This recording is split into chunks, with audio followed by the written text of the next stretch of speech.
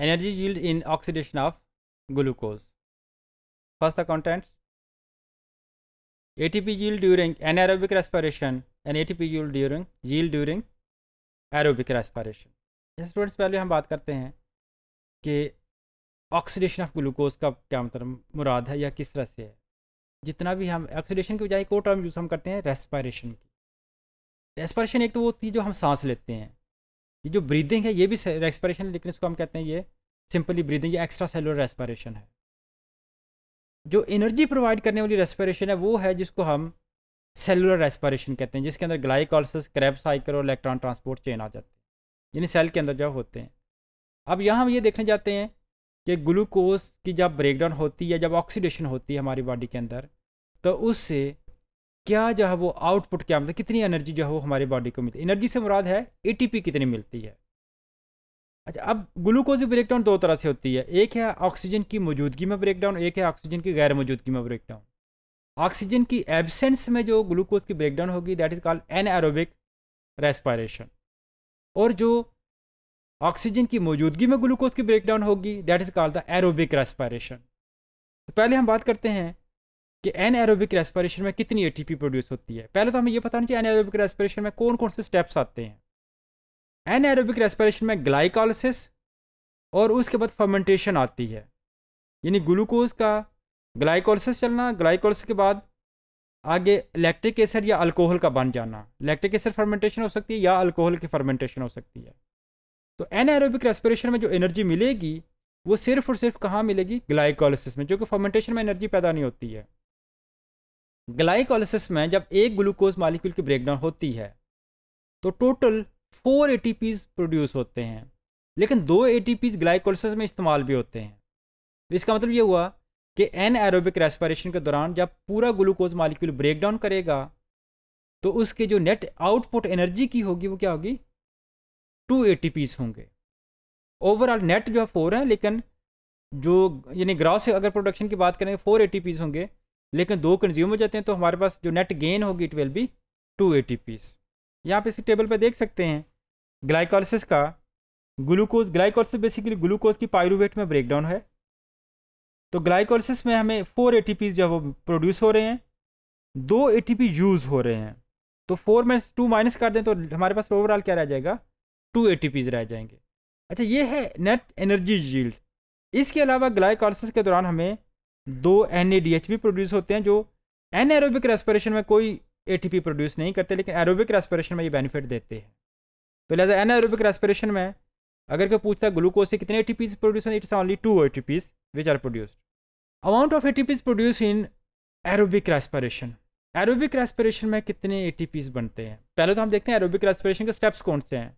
Glycolysis Krebs cycle electron transport chain and then A T P synthesis तो इसका मतलब इसमें तीन चार जो स्टेप्स आ जाएँगे। अब ग्लाइकोलिसिस के दौरान अगर मैं काउंट करूँ तो दो ए प्रोड्यूस हो रहे हैं। एक ग्लूकोज से दो क्रैब साइकिल चलते हैं। एक क्रैब साइकिल में एक एटीपी मिलता है। तो दो क्रैब साइकिल चलने का मतलब क्या होगा टू ए इसका मतलब है क्रैब साइकिल और ग्लाइकोलिसिस इन दोनों स्टेप से जो एटीपी मिल रही है दे आर दी फोर ए हमें हासिल हो रहे हैं। ज़्यादा जो ए होंगे वो इलेक्ट्रॉन ट्रांसपोर्ट चेन के साथ जो ए टी का प्रोसेस है, उस दौरान हमें हासिल होंगे क्योंकि जब ये क्रैब साइकिल और एनएडीएच के दौरान जो एन जो क्रैब साइकिल और ग्लाइकोलिसिस के दौरान एनएडीएच बनता है, इसके अलावा एफ़ बनता है। अब जो एनएडीएच है, ये इलेक्ट्रॉन ट्रांसपोर्ट चेन में जब जाएगा तो एक एनएडीएच से तीन ए प्रोड्यूस होंगे। और इसी तरह से एफ़ जो है, वो एक एफ़ दो ए प्रोड्यूस करता है। अगर हम कैलकुलेशन करें तो एक क्रैब साइकिल में तीन एन पैदा होते हैं। और एक तब एन बनता है जब क्रैब साइकिल स्टार्ट होना होता है। तो टोटल फोर एन हैं। फोर एन एक क्रैब साइकिल में क्रैब साइकिल और उसके स्टार्ट में। और इसका दूसरा जब क्रैब साइकिल चलेंगे एक ग्लूकोज ने दो क्रैब साइकिल चलाने हैं। तो इसका मतलब eight N A D H वहाँ बनेंगे। आठ एन ए डी एच को जब तीन से मल्टीप्लाई करेंगे twenty four A T Ps तो क्रैब साइकिल से बनने वाले जो ए हैं या एन हैं, वो आगे ट्वेंटी फोर प्रोड्यूस कर रहे हैं। फोर ए वो हैं जो ग्लाइकोलिसिस और क्रैब साइकिल से डायरेक्टली हमें हासिल होते हैं। तो twenty four plus four is equal to twenty eight A इसके अलावा अब जो चीज़ है, वो है कि जो ग्लाइकोलिसिस के दौरान एन बनते हैं ग्लाइकोलिसिस के दौरान जो एन बनेंगे, ये भी माइटोकॉन्ड्रिया के अंदर मूव करके जाते हैं और ये एटीपी प्रोड्यूस करते हैं। समटाइम ये एन आगे एन के तौर पर काम करते हैं और इसे तीन ए मिलेंगे। तो दो एन है तो सिक्स ए इनके हो जाएँगे। ट्वेंटी एट प्लस सिक्स कितना हो जाएगा? It will be thirty four thirty four और इसके अलावा दो एफ़ टू प्रोड्यूस हो रहे हैं क्रैब साइकिल के अंदर। एक एफ़ तो दो ए देता है। तो जो हमारे पास ओवरऑल दो ए दो एफ़ टू तो फोर ए मिलेगी। Thirty four plus four is equal to thirty eight ये थर्टी एट ऑप्टिमम कंडीशन हैं। अक्सर केसेस में ग्लाइकोलिसिस वाला एनएडीएच जो है, जब वो माइटोकॉन्ड्रिया में शिफ्ट होता है तो दो ए प्रोड्यूस करवाता है।